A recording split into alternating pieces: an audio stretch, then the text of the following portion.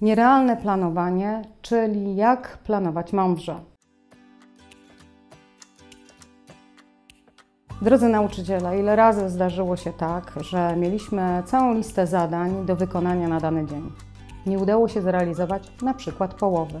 Ta lista przechodziła na następny dzień, a potem już nawarstwiały się tylko rzeczy do załatwienia.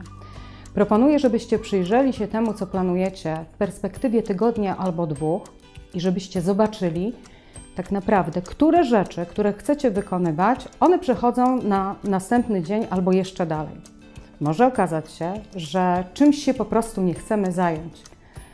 Mówi się o tym, że należałoby zacząć od rzeczy łatwych, czasami przyjemnych, ponieważ jesteśmy zmotywowani do tego, żeby to zrobić, ale poświęcamy temu energię. Dlatego rekomenduję Wam, żebyście rzeczy pilne, ważne wykonywali priorytetowo, od razu, ponieważ jak zajmujemy się rzeczami małymi, to także zużywamy naszą energię wewnętrzną. Życzę powodzenia w planowaniu swojego czasu.